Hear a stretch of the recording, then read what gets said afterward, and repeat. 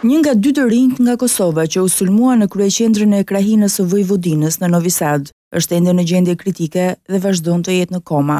Sulmi ndaj tyre kishte ardhur nga katër persona pasi ata po flisnin shqip në rrugët e këtij qyteti.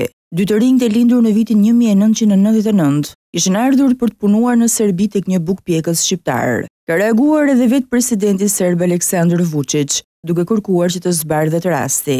To su srpski državljani, albanske nacionalnosti. Ata janë shtetas serbë me kombësi shqiptare. Kërkoj nga Ministria e Brendshme të gjenden sulmuesit. Ne nuk jemi të egër dhe ky është një shtet i rregulluar dhe të gjithë qytetarët tanë duhet të kenë mbrojtje të barabartë. dhe askush nuk guxon të sulmojë dikë vetëm sepse është shqiptar, fajtorët të gjenden dhe të dënohen ashpër. Si mund të kërkoj unë mbrojtjen e serbëve, nëse kjo nuk ndodh? Sulmet e huliganëve dhe dhuna në qytetin e Novi Sadit nuk ndodhin për herë të parë. Shqiptarët këtu janë sulmuar disa herë pas ngjarjeve që lidheshin me Kosovën dhe shumë dyqane u sulmuan pas ndeshjes Shqipëri-Serbi.